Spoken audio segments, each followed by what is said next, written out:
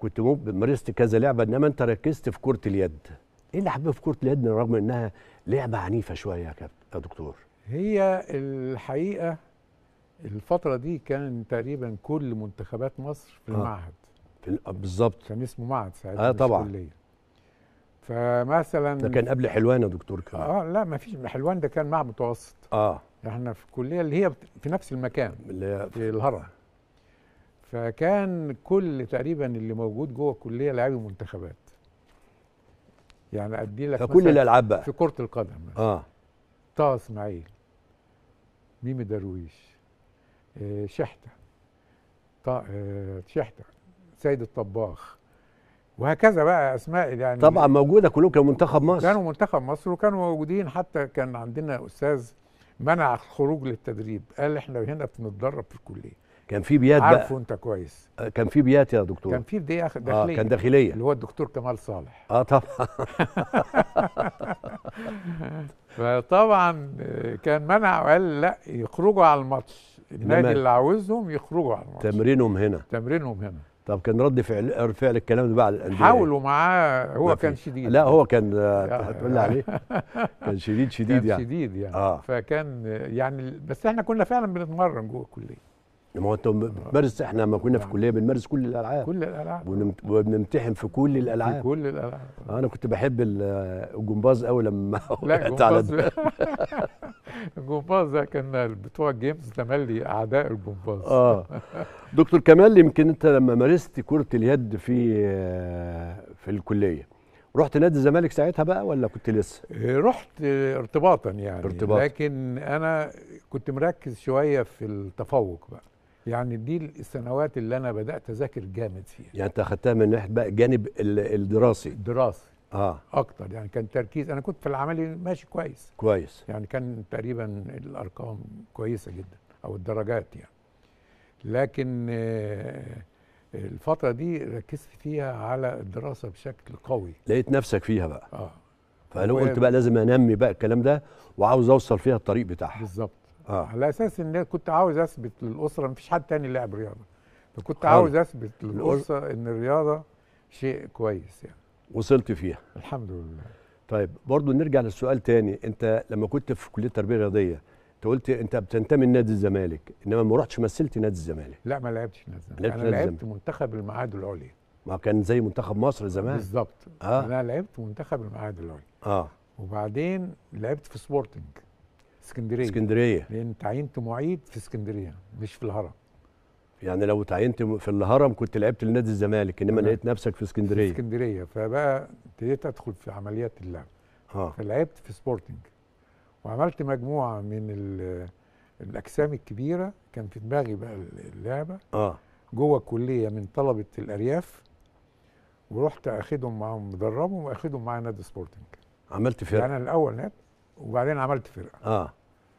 وابتدينا نشتغل وعملنا شغل كويس. كان ساعتها بقى ال- الأندية الكبيرة سموحة في آه. الهاندبول آه. والزمالك والأهلي والجزيرة.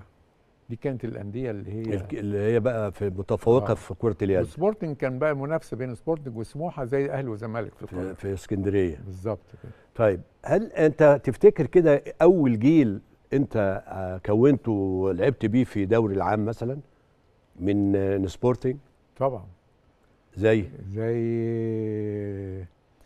آه، مختار طابوزاده دكتور مختار طابوزاده آه. مثلا. ده كان كابتن الفرقة كان حارس مرمى. كان حارس منتخب مرمى. مصر. آه. آه، محمود عوض كان بيلعب basket وبيلعب handball. أشرف بكير. عشان بكير طبعا. آه. فدي الأسماء اللي في دماغي. بعد كده جه جيل بقى خالد حمودة سيد سليمان. يعني نجوم آه، نجوم, نجوم. سموحه كان بقى أحمد أحمدين وعرفان بدير طبعا. وجابر آه، الحارس المرمى. يعني يعني- عملت كونت كونت بقى هنا يعني زي ما بيقولوا إيه النوايا بتاعت ال- ال- الفرقة. بالظبط. واستمريت فيها. استمرت فيها بقى بس أنا يعني وأنا بلعب على طول كان ساعتها منتخب اسكندرية رحت داخل منتخب مصر. مم. في خلال ثلاث سنين رحت طالع البعثة. يعني انت ما ما دخلتش نادي الزمالك إلا بعد ما رجعت؟ آه طبعا. انت لعبت منتخب مصر قبل ما تلعب محلي كمان قبل ما ألعب محلي. آه. قبل ما ألعب محلي في ال- في الزمالك. في الزمالك آه ما أنا أقصد كده. لكن لما رجعت بقى أنا أنا أصلا طبعا في القاهرة يعني. طبعا. أنا رحت نتيجه لل كان ال- العميد ساعتها بيعتبرني يعني إلى حد ما شقي شوية ولا حاجة. بدأ بقى مشوارك اوائل 72 آه بدأ مشوارك في نادي الزمالك من 71 72 بالظبط كده. بدأت بقى تكون بقى الجيل ال- آه كان الذهبي. ترتيبهم بعيد. آه. يعني كان في 12 فريق إحنا كنا ال 12 ال 12 فطبعا ما كانش لسه بقى آه، جت الحاجات اللي في الخارج ده. يعني الهاندبول بيتلعب ثابت على الأرض. تكتيكيا يعني. آه. ما فيش حركة. يعني بيلعب على المناطق زي الكورة كده يعني يلعب تشكيل ويفضل ثابت ما يتحركش. أيوه أيوه. الوقت كله متحرك يعني. طبعا. وكان كمان الأجسام صغيرة. غير الأجسام أنت كنت بتشوفها بره. الهضبة دي. فطبعا أنا يعني عشان نلحق آه، اشتغلنا على إن ال- الأجسام صغيره موجودة يبقى تشتغل على ال man to man press أو آه.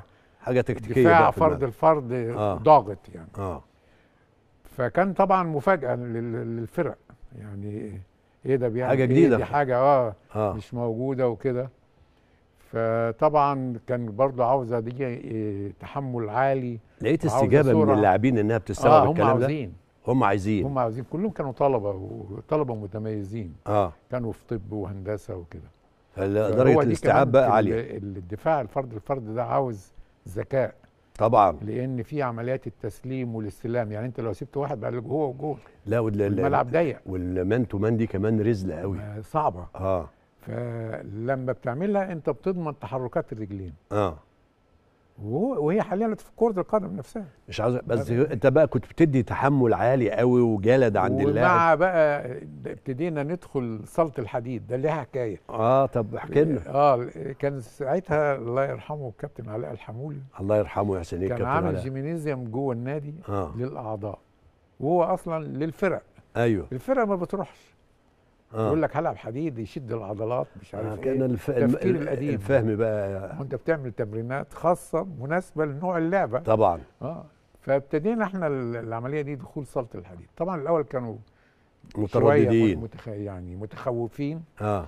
وبعدين شوية شوية لقوا إن أجسامهم بتتكون بقى عنده قوة. وإحنا طبعا في ال handball القوة اساسيه ده أساسي كل. يعني سواء في الدفاع سواء في الهجوم طبعا. فيها استخدام للجسم. ومع ال fitness. مع ال fitness طبعا. وابتدينا بقى المشوار بتاع ال- الأثقال والتدريب بالأثقال ده كان جديد في مصر. لقيتها استجابة بقى بسرعة. استجابة سريعة. وكملنا المشوار وابتدينا نقرب في النتائج. نعم. ابتدينا نقرب في النتائج نتيجة لل man to man press وعدم تعود الفرقة الثانية آه عليها والثانيه ما شافتش ما مش حاجة زي آه، كده. بالظبط كده. آه. وأتذكر آه، في الفترة دي آه، بدأت بعض الفرق آه، تنقل. لأن في رجع من ألمانيا معايا كان خد ماستر بس ساعتها الدكتور عبد الفتاح عبد الله. آه. سموحة. سموح وكان مستشار الاتحاد كرة اليد. بدا ما لما لقاك دخلت الحاجات دي كلها هو ابتدى بداوا يشتغل في سموحة. آه. بنفس الطريقة. بنفس الطريقة. بنفس الطريقة. كان عنده برضه لعيبة star كانوا مجموعة كبيرة منهم عرفان بدير وأحمدين وجاء منتخب مصر يعني كلهم كانوا منافسين. طبعا. يعني هم في الفترة دي كانوا بيطلعوا تاني أول آه. يعني. دكتوراه خدتها برضه في مصر من هنا ولا ما لا سافرت من آه ألمانيا. إيه بقى كان موضوعها إيه كان عبارة عن إدارة وتنظيم الرياضة ساعتها كان لسه الجمهورية العربية المتحدة. نعم. فطبعا عملناها. أنا جيت هنا جيت هنا عشان آخد البيانات يعني. جيت هنا واشتغلت مع مع وزارة كان ساعتها المجلس الأعلى مجلس للشباب أعلى والرياضة، للشباب والرياضة. وكان ساعتها الله يرحمهم بقى كان اللي ماسكه عبد الدكتور عبد عبد الحميد حسن. الدكتور عبد الحميد حسن. وكان معاه رئيس جهاز الرياضة. عبد العزيز حسن كمان. آه، لا كان معاه جمال ح- جمال نظيم جمال آه جمال نظيم وكان سعيد حشمت بعديهم والكلام لا. بعديهم بقى بعديهم سعيد آه. آه آه آه دي كانت المجموعة اللي كانت وبعدين مسك مكان جمال نظيم د- الأستاذ الكبير مصطفى الحلفاوي أيوه بدأت بقى من هنا بقى طيب آه. آه. أنا لما أبدأ أتكلم بقى في الجزئية دي يا دكتور وأنت أستاذ في الحتة دي بالذات الرياضة علم ولا صناعة ولا خبرة إيه اللي يجي قبل التاني؟ هو الرياضة آه، علم. علم. آه يعني أنا العلم يجي في. دلوقتي كليات التربية الرياضية آه. في العالم ما بقاش اسمها كليات التربية الرياضية. مم. بقى اسمها كلية علوم الرياضة. علوم الرياضة. آه. ده يأكد لك السؤال. آه طبعا. وطبعا آه، علوم الرياضة أنت عارف إنها بتتعامل مع الإنسان. طبعا. فأنت يعني كل شغلك مع الإنسان. مم. فالشغل الإنسان عبارة عن إيه؟ عبارة عن ثقافة طبعا. وفكر و... ورغبات وميول وبعدين تنفيذ. واحتياجات آه. وقدرات آه. وتوافقات. فكل ده أنت بتشتغل عليه. فأنت بقى اتقسمت كتير يعني حضرتك لما كنت في ال- تخصصات. بالظبط كده آه. تخصصات كتير. آه. بقت في أقسام علمية كتير. آه. يعني مثلا أنت حاليا إحنا بنخرج إيه؟ إحنا كان زمان بنخرج معلم تربية رياضية. أيوه. دلوقتي إحنا بنخرج إداري إداري أو إدارة قسم الإدارة يطلع إداري. نعم. أو أخصائي. بنخرج أخصائي علم نفس رياضي. ودي بقى دي على مستوى العالم دي من الحاجات المهمة جدا. من بدري. آه طبعا. يعني إحنا لسه لسه الأيام دي آه، ابتدينا ابتدوا يقتنعوا الفرق القومية إنها لا هم قاموا من النوم. معد نفسي. هم قاموا من النوم أيوه لا. مع اللجنة العلمية اللي عملها الدكتور أشرف صبحي. آه. إيه، اللي أنا بتشرف برئاستها يعني.